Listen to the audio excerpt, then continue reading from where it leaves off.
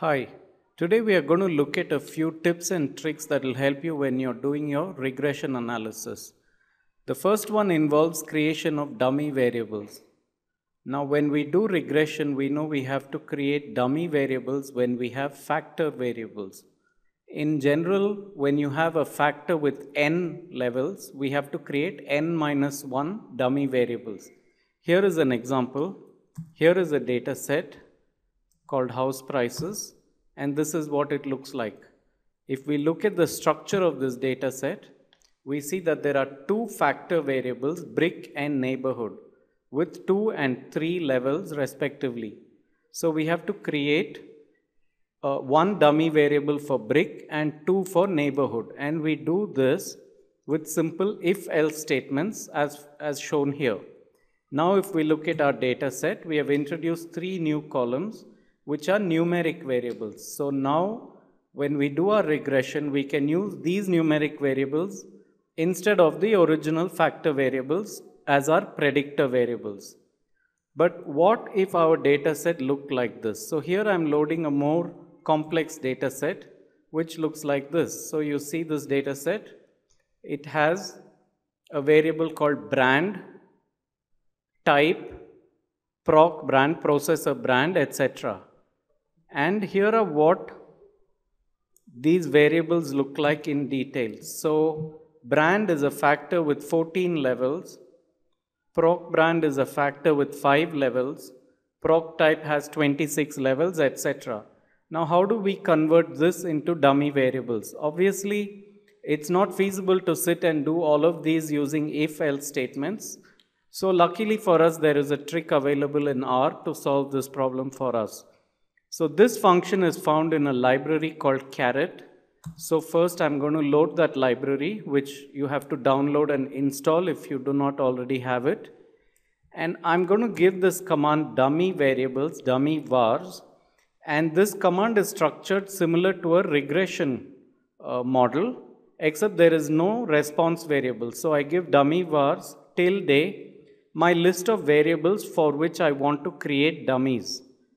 In the next step, I just use the predict function just like in regression, creating a new data set, predict dummy, that's the name of my dummy model, comma data, the data on which I want to predict. Now if I look at this new data, I find that it has created all these dummy variables for me. So for each variable with factor variable with n levels, it has created n minus 1 dummy variables and given them the values 0 or 1. If I look at the structure of this data set, you see it has all of these different new variables available now. So what I'm going to do now is I'm going to extract the numeric data from the original data set and bind it to my new data set, which is the recoded or the dummy variable data set to create a new data set which now has 74 variables including all the dummy variables which looks like this. Here's the head of this data set. So you see, I've retained MRP, HDD, memory and screen from the original data set and added all my dummy variables. Now I've created the data set that I want. Now I can go ahead and do my regression analysis, etc. as usual. So that was the first trick that I wanted to show you. The next trick has to do with checking how well your regression model works. So I'm going to start by doing a simple logistic regression model um, using a credit card default data set. And this is what the data set looks like. So it has default credit card default status data for 10,000 records. And, and so the sample size is large, 10,000. So what I would normally do is split my data set into training and validation, build my model on the training data, test it on the validation data. Okay, but what if my data set was much smaller? So what I've done in these few steps is resample the original data set to create a smaller data set of sample size 60. 30 yeses and 30 nos have been picked from the original data set. What if this was all the data I had? What if my data sample size was only 60? Then I don't have enough samples to split the data into training and validation, and then build the model on one set and test it on the other set. What do I do in such cases? Okay, so I'm going to build the model. GLM default is my response variable. Student balance and income are my predictor variables. This is what my model looks like. And now I have this alternate way of testing how well my model works, which is something called cross validation using the bootstrapping method. So this function is found in library boot. So I'm going to load library boot and the name of the function is cv.glm. The arguments it takes is first the data set, second the model that I want to validate. So I give cv.error where I'm going to store my result equal to cv.glm x comma model.1. I run this and from cv.error I'm going to extract the third element which happens to be the error rate and print it out using a simple paste function. So my error rate according to this method is 8.13%. So this is a method you would want to use when you have small data sets and you do not have the option of splitting into training and validation data sets.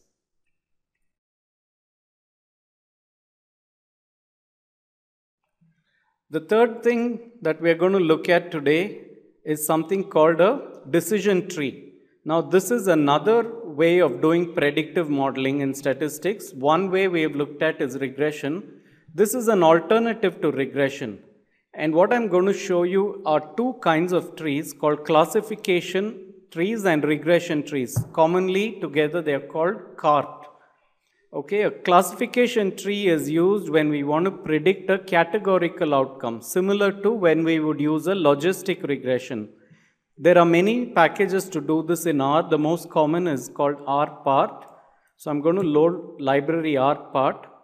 I'm going to load a data set called kyphosis, where my response variable called kyphosis is in fact a binary. It is a categorical outcome.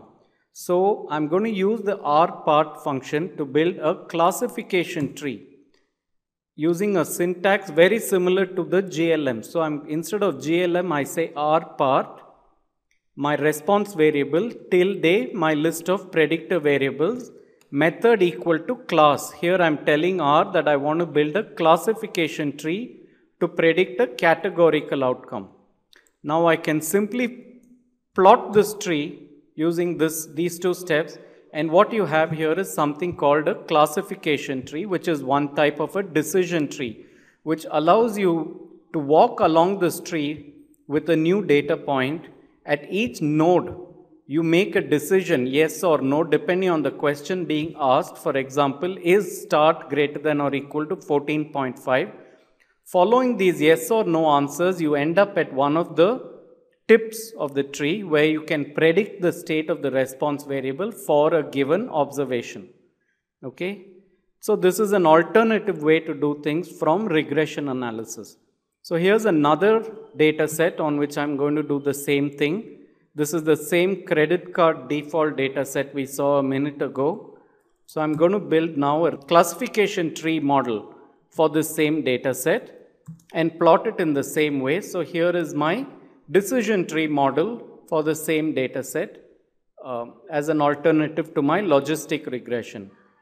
Now, just like we do linear regression when we have continuous uh, response variables, we have the equivalent with decision trees, and this is called a regression tree.